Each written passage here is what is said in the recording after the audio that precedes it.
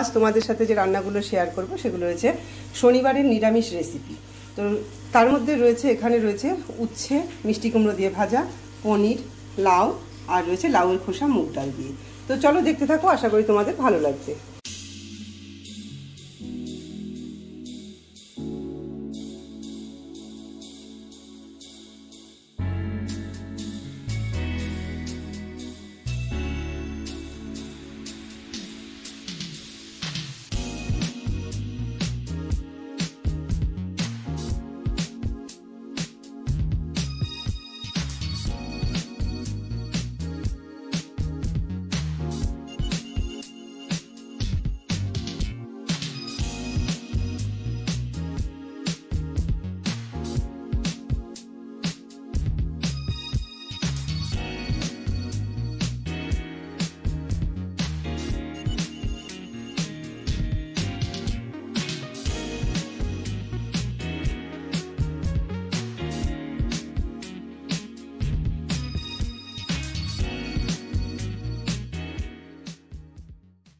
Afternoon everyone welcome back to my channel daily life with Tanushree আশা করি তোমরা সকলে ভালো আছো, আমিও ভালো আছি। তো আজকে যে রান্না করছি, শনিবার যেহেতু, আজকে নিরামিষ আমাদের।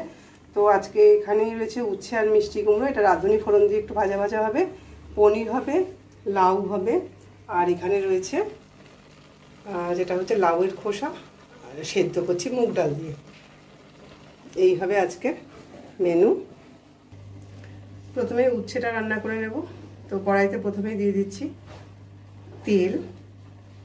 তেলটা গরম হয়ে গেছে, দিয়ে দিচ্ছি একটা শুকনো লঙ্কা আর অল্প করে একটু পাঁচ ফোড়ন খুব ভালো ভাজা হয়ে গেছে পাঁচ ফোড়ন শুকনো লঙ্কা। এবার এদিকে মুগ ডাল আর লাউর খোসাটাও প্রায় সেদ্ধ হয়ে এসছে। এর মধ্যে আমি নুন, হলুদ আর একটু জিরের গুঁড়ো দিয়ে দিয়েছি। ব্যাস, আর একটু সেদ্ধ হলে আমি এটা ফোড়ন দিয়ে নামিয়ে নেব। উচ্ছে ভাজাটাও হয়ে গেল। এর মধ্যে এবার আমি লাউয়ের খোসাটা আর ডাল দিয়ে যেটা করেছি সেটা ফোড়ন দিয়ে দেবো। ব্যাস, এর মধ্যে আমি কড়াইতে তেল দিয়ে দেব।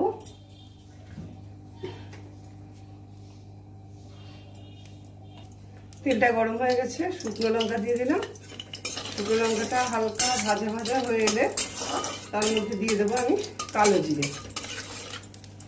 কালো জিরেও দিয়ে দিলাম।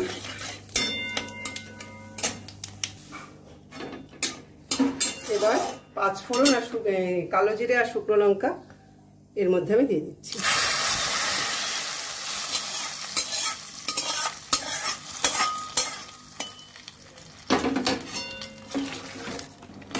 ভালোভাবে মিশিয়ে নেব। আর যারা একটু মিষ্টি পছন্দ করে, এই সময় একটু মিষ্টি দিয়ে দিতে পারো চিনি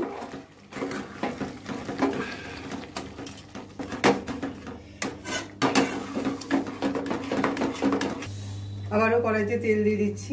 এবার এর মধ্যে বসিয়ে দেবো লাউয়ের তরকারি। তেলটা গরম হলে, তেলটা খুব ভালো গরম হয়ে গেছে। শুকনো লঙ্কা, গোটা জিরে, আর দিয়ে দেবো বড়ি। বড়ি, শুকনো লঙ্কা, জিরে ভাজা ভাজা হয়ে এলে এর মধ্যে দিয়ে দেবো লাউ। কুচিয়ে রাখা লাউ। ওইটা ঠিক এরকম ভাজা হয়েছে। এবারে আমি এর মধ্যে লাউ দিয়ে দিচ্ছি।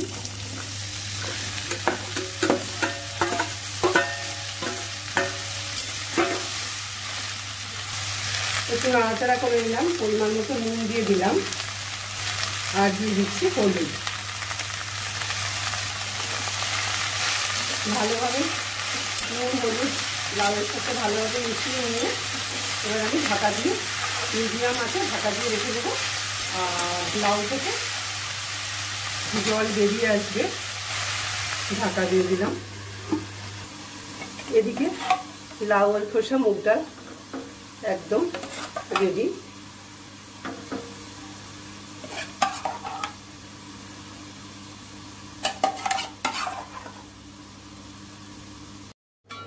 ঢাকনাটা তুলে নিচ্ছি। লাউ থেকে সেরকম কিছু জল বেরোয়নি, অথচ লাউটা কিন্তু বেশ ভালো। সফট হয়ে এসছে। এইরকম অবস্থাতে এর মধ্যে আমি শুধু একটু আদা বাটা দিয়ে দিচ্ছি। এর মধ্যে জিরের গুঁড়োর কোনো দরকার নেই, প্রয়োজন হবে না জিরের গুঁড়োর ব্যাস এইভাবেই ঢেকে ঢেকে রান্না করব, নামানোর সময় একটু মিষ্টি আর ধনে পাতা অ্যাড করব, তাহলে লাউ রেডি হয়ে যাবে। আবারও আমি ঢেকে দেব। আবারও ঢাকনাটা তুললাম।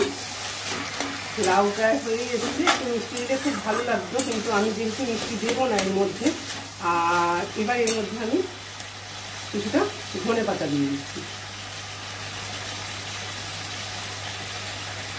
ধনে পাতা দিয়ে খুব ভালো করে মিশিয়ে এবার আমি এটা নামিয়ে নেব।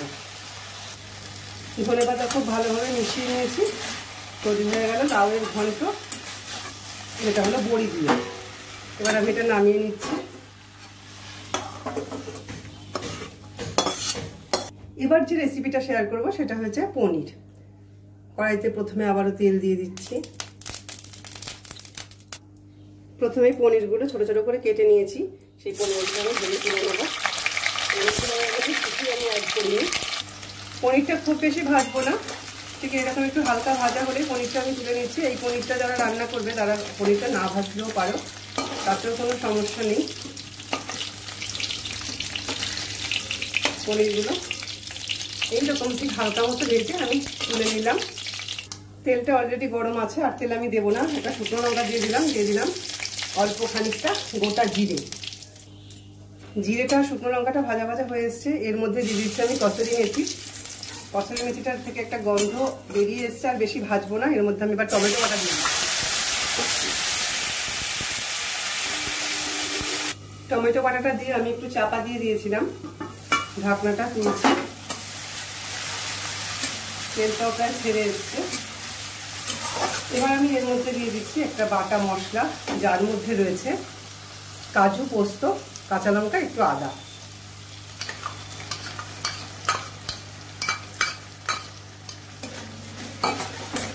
খুব ভালোভাবে এবার এটা আমি কষিয়ে নেব, মশলা থেকে তেল ছাড়া পর্যন্ত।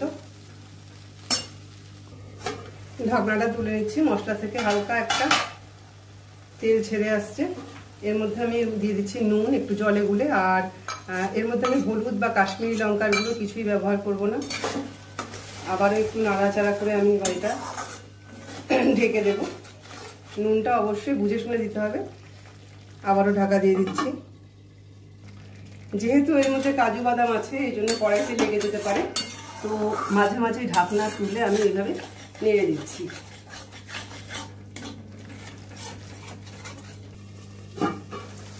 মশলা থেকে খুব সুন্দর তেল ছেড়ে এসছে। এরকম অবস্থাতে আমি দিয়ে দিচ্ছি এর মধ্যে গরম মশলার গুঁড়ো। নাড়াচাড়া করে নিচ্ছি।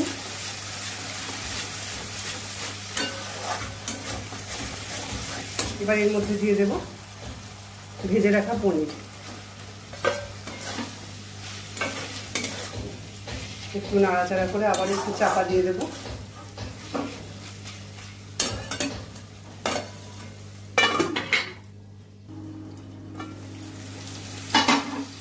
খুব সুন্দর তেল ছেড়ে এসছে, এবার এর মধ্যে আমি পরিমাণ মতো গরম জল দিয়ে দিচ্ছি। যে যেই রকম গ্রেভি রাখবে তার উপরে জলটা ডিপেন্ড করবে। আমি এইটুকু গ্রেভি রাখব, তো আমি এই জন্য আরেকটু জল দেবো এর মধ্যে।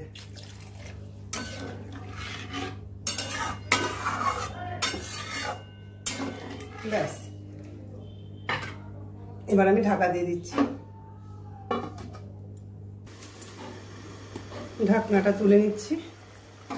ব্যাস, এইটুকু আমি গ্রেভি রাখব, যেহেতু কাজু আছে এর মধ্যে। গ্রেভিটা আরেকটু টেনে নেবে।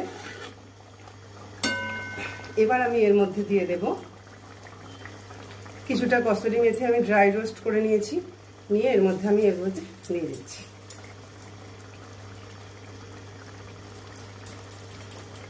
ব্যাস, তৈরি হয়ে গেল। পনির রান্না আমার, কাজু পোস্ত দিয়ে। গ্যাসটা বন্ধ করে এবার আমি ঢাকা দিয়ে দেবো। ঢাকা দিয়ে বেশ কিছুক্ষণ রেখে আমি নামিয়ে নেব। ঢাকনাটা তুলে এবার আমি নামিয়ে নেব।